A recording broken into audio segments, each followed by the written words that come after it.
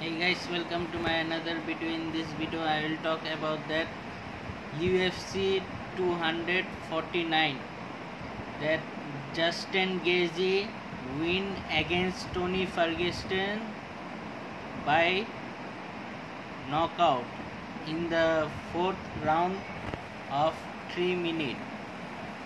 The match was very excited and very brutal after that uh, Justin Gaethje challenge to the Khabib and the next fight will be Khabib versus Justin Gaethje hope you guys enjoy the video. Please like comment share and subscribe for more news